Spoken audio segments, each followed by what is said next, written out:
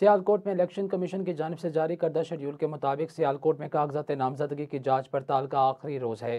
मजीद बता रहे हैं, सियालकोट आर ओ ऑफ़िस के बाहर मौजूद हमारे नुमाइंदे सैयद गुलफाम कासमी। जी आगाह कीजिएगा। आज बिल्कुल आज कागजात नामजदगी जाँच पड़ताल का आखिरी दिन है।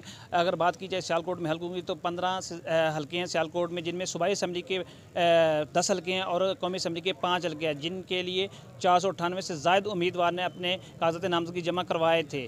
और उनकी जाँच पड़ताल का जो अमल है, वो तकरीबन आखिरी मराहल में दाखिल हो चुका है और आज शाम पाँच बजे वो लिस्टें जो हतमी फरिश्ते हैं, वो अवेज़ा कर दी जाएँगी। अगर बात की जाए सियालकोट की सबसे hot seat N A seventy one की तो उसमें ख्वाजा मोहम्मद आसिफ के मुकाबले में उस्मान डार की वालदा रेहाना इम्तियाज़ डार ने जो कागजात नामजदगी जमा करवाए थे और उनकी जो कवरिंग कैंडिडेट थी अरूबा उमर डार, उनके भी कागजात नामजदगी दोनों के आर ऑफ़िस की जानब से मुस्रद कर दिए गए हैं। अब उनका कहना है कि वो अपने हक के लिए और अपने जो एतराज़ा उन पर लगाए गए हैं और उनके लिए लाहौर हाई कोर्ट में रजू करेंगे। जी।